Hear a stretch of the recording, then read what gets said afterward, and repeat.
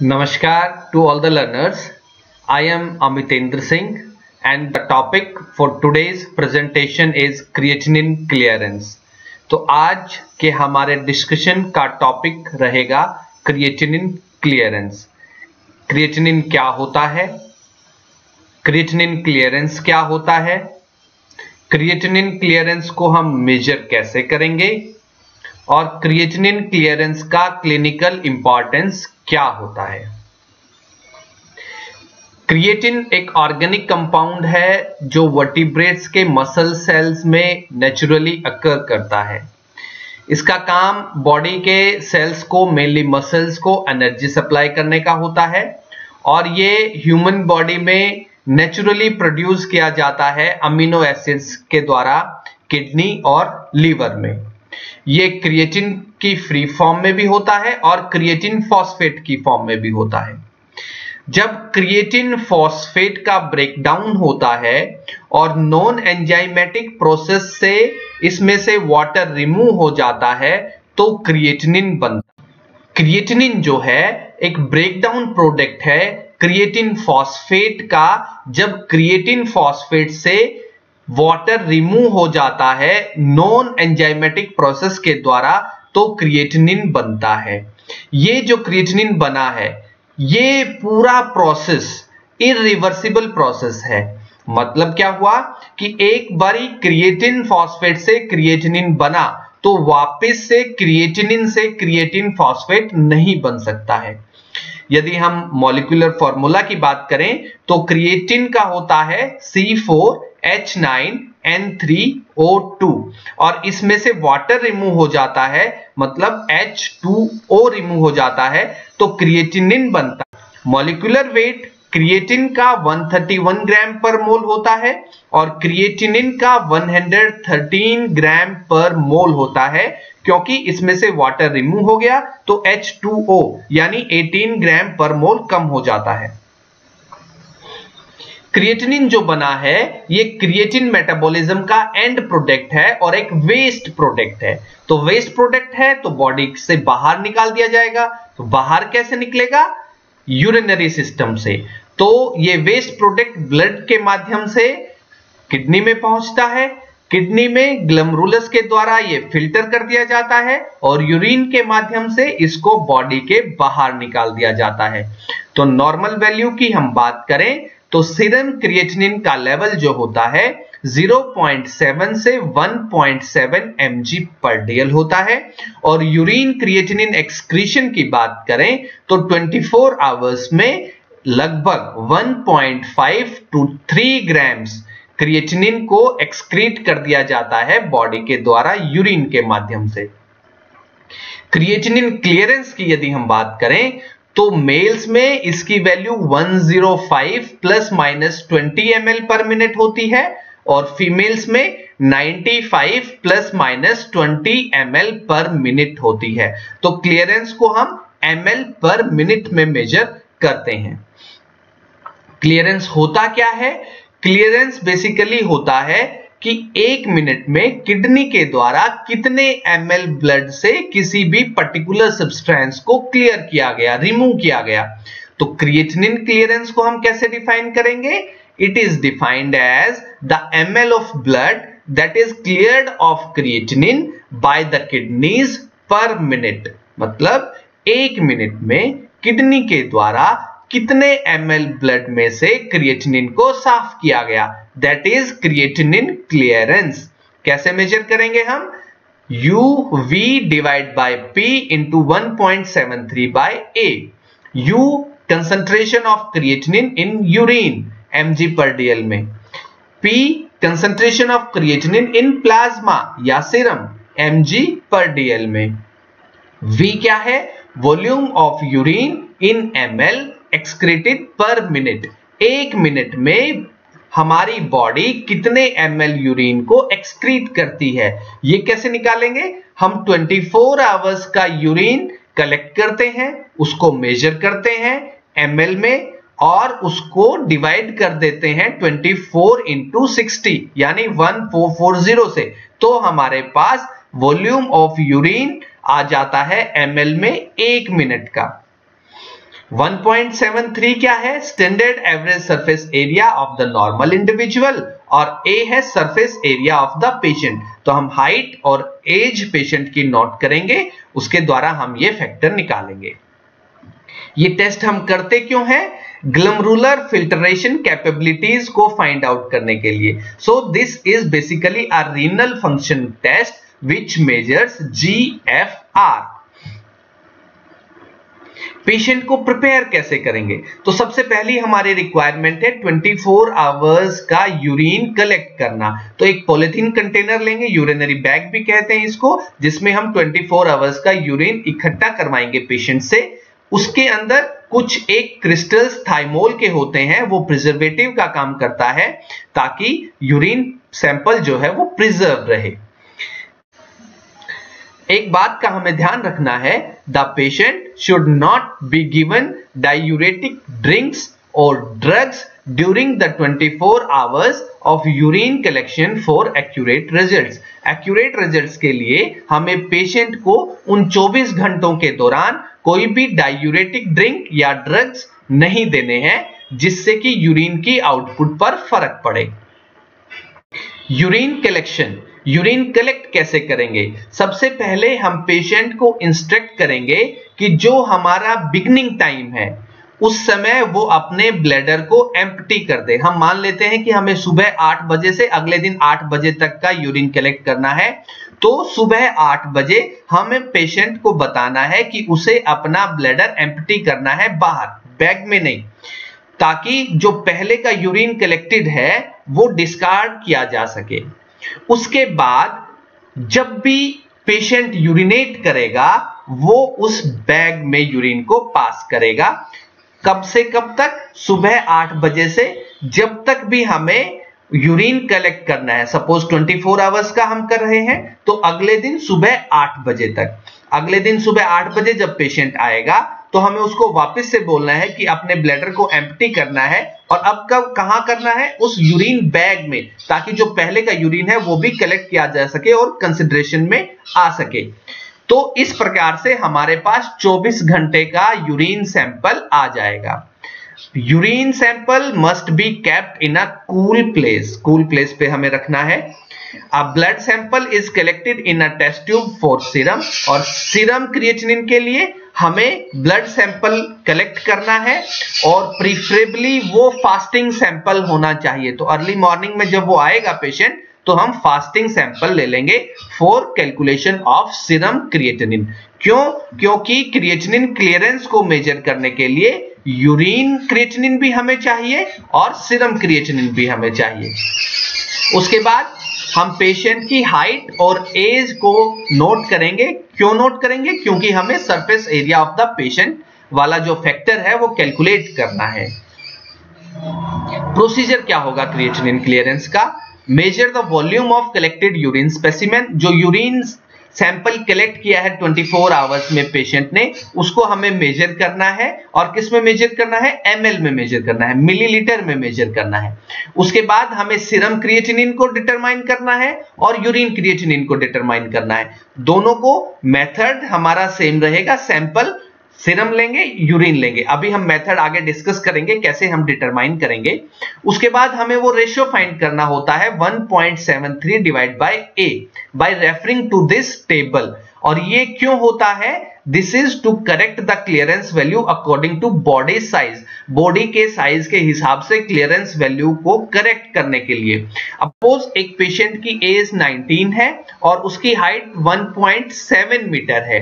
तो 19 ये एज है हमारे पास, ये वाला कॉलम हम चेक करेंगे 1.7 मीटर है तो ये है यहाँ पर, और रेशियो कितना आ जाएगा? 1.73 point seven three by A ratio comes out to be 1.01 so it is 1.01 तो ऐसे हम इस रेशियो को फाइंड आउट करेंगे। Creatinine clearance in ml per minute हम मेजर कर लेंगे बाय यूजिंग दिस फॉर्मूला कैसे कैलकुलेट करेंगे?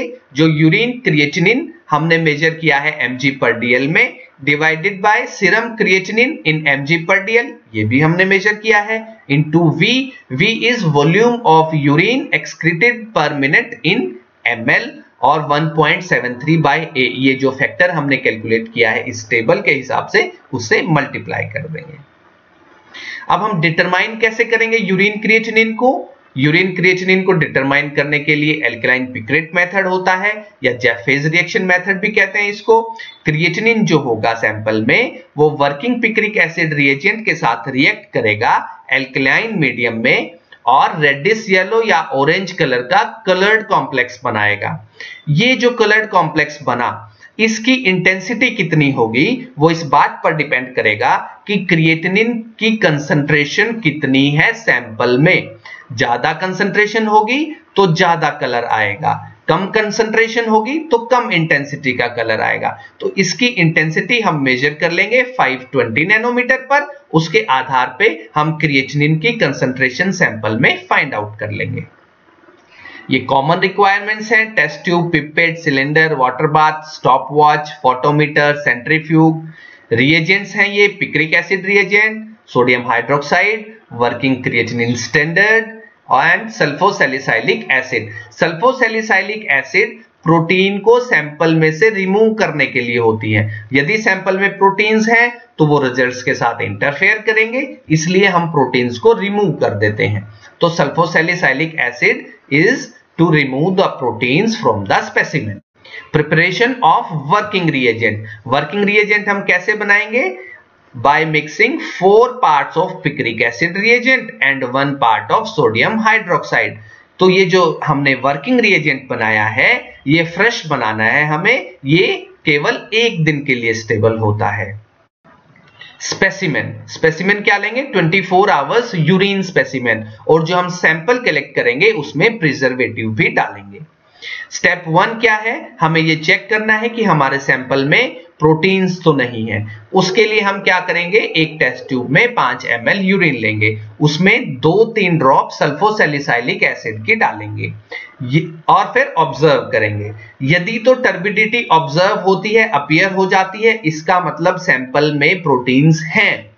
यदि टर्बिडिटी नहीं आती है, इसका मतलब urinary proteins are absent in the sample. Sample में प्रोटीन्स नहीं है। उसके बाद हम आगे बढ़ेंगे। यदि तो प्रोटीन्स हैं तो हमें डीप्रोटेनाइज करना पड़ेगा सैंपल को। कैसे करेंगे? एक सेंट्रीफ्यूग ट्यूब लेंगे, उसमें 8 एम एल डिस्टिल वाटर डालेंगे 1 एम एल यूरिन डालेंगे 0.5 five M L two by three normal sulphuric acid डालेंगे और 0.5 five M L sodium tungstate डालेंगे। अच्छे से इनको मिक्स करेंगे और 1500 आरपीएम पर 10 मिनट के लिए सेंट्रीफ्यूग करेंगे। और यदि प्रोटीन्स एबसेंट थे यूरिन में तो हम यूरिन को डाइल्यूट कर लेंगे in the ratio one is to ten यानी कि 9 एम एल डिस्टिल वाटर में एक एम एल यूरिन अच्छे से मिक्स कर देंगे। फिर हम स्टेप टू पे बढ़ेंगे। स्टेप टू में हम क्या करेंगे? तीन टेस्ट ट्यूब लेंगे क्लीन होंगी ड्राई होंगी और स्टेराइल होंगी, और उनको हम लेबल कर देंगे T for test S for standard and B for blank और जैसा टेबल में बताया है, वैसा पिपेट करेंगे। सबसे पहले तीनों टेस्ट ट्यूब में डिस्टिल वाटर डालेंगे। कितना डालेंगे? टी में 4.8 पॉइंट एस में 4.8 एंड बी में 5 एम उसके बाद डीप्रोटेनाइज्ड हमने यदि सैंपल किया है या फिर हमने डाइल्यूट यूरिन जैसा भी केस है, वो सैंपल लेंगे हम टी में 0.2 ml स्टैंडर्ड लेंगे हम एस में 0.2 पॉइंट टू यहाँ पे जो हमने स्टैंडर्ड लिया है, वो सपोज़ 10 ग्राम्स पर डीएल है। तो वो हम लेंगे एस में 0.2 पॉइंट और फिर एल्केलाइन पिक्रेट रिएजेंट जो हमने वर्किंग रिएजेंट बनाया है, तीनों टेस्ट ट्यूब्स में एक एक एम डालेंगे, अच्छे से मिक्स करेंगे और रूम टेम्परेचर पर 20 मिनट के लिए रखेंगे। उसके बाद ऑप्टिकल डेंसिटी मेजर करेंगे टी की और एस की अगेंस्ट ब्लैंक एट 520 नैनोमीटर फिर कैलकुलेट करेंगे।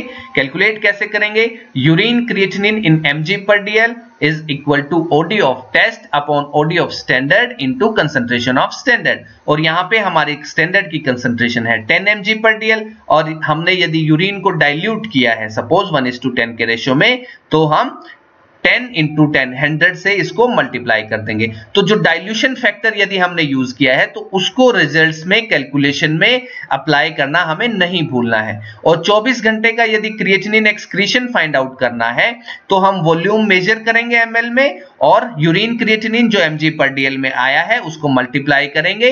जो यूरिन है हमारा 24 आवर्स का एमएल में उससे, और 100 से डिवाइड कर देंगे। 100 से क्यों डिवाइड किया है? क्योंकि यहाँ पे डेसीलीटर है, यहाँ पर मिलीलीटर है। एक डेसीलीटर में 100 मिलीलीटर होते हैं। ठीक है? तो ऐसे क्रिएटिनिन एक्सक्रीशन मेजर करेंगे इन एमजी पर 24 आवर्स यदि हमें सीरम का डिटरमाइन करना है इन द सिमिलर वे वही मेथड रहेगा, वही प्रिंसिपल रहेगा। सैंपल हम यहाँ पर सीरम लेंगे यदि सैंपल में प्रोटीन्स हैं तो पीएफएफ लेंगे प्रोटीन फ्री फिल्ट्रेट लेंगे सोडियम टंगस्टेट H2SO4 से, जैसे हमने यूरिन में भी किया था। उसके बाद तीन टेस्ट ट्यूब लेंगे सिमिलरली टीएसबी और उनमें पिपेट करेंगे, जैसा इस टेबल में बताया है। प्रोटीन फ्री फिल्ट्रेट जो है सैंपल का, वो टी में 2 ml लेंगे। Creatinine standard suppose 1 mg per dl है यहाँ पर एस में लेंगे 2 ml और डिस्टिल वाटर बी में लेंगे 2 ml उसके बाद तीनों में तीन तीन ml डिस्टिल वाटर डाल देंगे तो बी में डिस्टिल वाटर 5 ml हो जाएगा और तीनों में वर्किंग पिक्रिक एसिड रिएजेंट डालेंगे 1 ml ईच अच्छे से मिक्स करेंगे रूम टेम्परेचर पर 20 मिनट के लिए रखेंगे और फिर ऑप्टिकल डेंसिटी मेजर करेंगे टी की और एस की against B at 520 nanometre same procedure है जो हमने यूरिन क्रिएटिनिन के लिए किया था। Serum creatinine in mg per dl is OD test divide by OD of standard into concentration of standard यहाँ पर हमने कंसंट्रेशन एक एमजी पर डीएल ली है तो हम एक से मल्टीप्लाई कर देंगे। अब क्रिएटिनिन क्लियरेंस कैसे निकालेंगे? हमने जैसा पहले डिस्कस किया था creatinine clearance in M L per minute is equal to U V divide by P into one point seven three by A U creatinine urine में हमने निकाल लिया एम जी पर डीएल में। पी प्लाज्मा क्रिएटिनिन या serum creatinine वो भी M G per DL में हमने मेजर कर लिया है। एक मिनट में कितना एम एल यूरिन एक्सक्रीट किया जाता है बॉडी के द्वारा? दैट इज़ वी हमने मेजर कर लिया है। और 1.73 बाय ए ये रेशियो भी हमने टेबल से कैलकुलेट कर लिया है। तो हमारे पास सारी चीज़ें आ गई हैं, हमें यहाँ पर रखना है और क्रिएटिनिन क्लियरेंस फाइंड आउट करना है। क्यों फाइंड आउट करते हैं हम? इसका क्लिनिकल इंपॉर्टेंस क्या है? Glomerular filtration capabilities of kidney को फाइंड आउट करने के लिए जीएफआर ग्लमरूलर फिल्ट्रेशन रेट को फाइंड आउट करने के लिए हम क्रिप्टनिन क्लियरेंस को मेजर करते हैं। और नॉर्मल एवरेज जीएफआर कितना होता है? 125 ml कौन से फैक्टर्स हैं जिनकी वजह से अब नॉर्मल क्रिएटिनिन क्लियरेंस होता है? नॉन रिनल फैक्टर्स भी हो सकते हैं renal factor non renal factors में कौन से होते हैं? मसल नेक्रोसिस लगा लीजिए आपका। आप बहुत ज़्यादा एक्सरसाइज करते हैं तो एनर्जी की डिमांड मसल्स में बढ़ जाती है तो क्रिएटिन फॉस्फेट क्रिएटिनिन में कन्वर्ट हो जाता है।